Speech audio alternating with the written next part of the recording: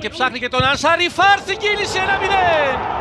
Καταπληκτική δουλειά για την ΑΕΚ με τον Ιρανό στο τελείωμα με το αριστερό στο 23. Το τελείωμα με το τελείωμα με το τελείωμα με το... Το τελείωμα, τελείωμα με... Şurayı